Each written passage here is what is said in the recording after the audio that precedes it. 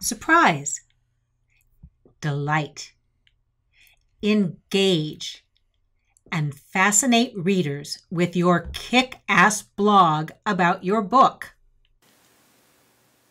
Hi, I'm Judy Baker, Brandvines, your book marketing expert for independent authors. Today's free book marketing tip start a blog about your book. If you're a nonfiction author, that should be easy because you want to establish yourself as an expert in your field with your book as a great solution to the problem that you posed in the book. Your blog becomes your hub for all of your marketing. People will go and search you out.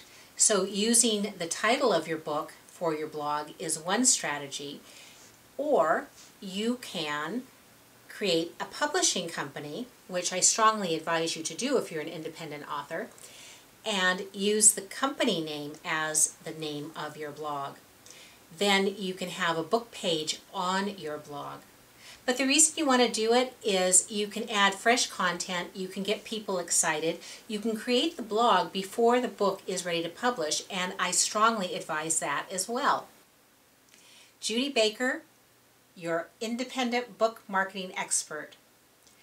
Brandvines, because you want to make your connections grow deep roots and you'll sell more books.